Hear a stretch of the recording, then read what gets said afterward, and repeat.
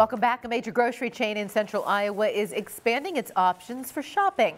Fareway announcing the ability to buy items and pick up curbside. The company said shoppers can go online to Fareway's website or through its app. They said orders can be changed up to half an hour before pickup. Fareway leaders said the response has been positive. The first store we launched was in Boone, right here where our head, corporate headquarters are located.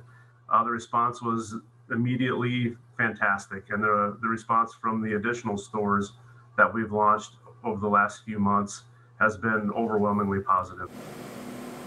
The online shopping option is available at nearly 50 Fareway Meat and Grocery and 50 and Fareway Meat Market locations. The company tells us they are exploring a delivery option as well.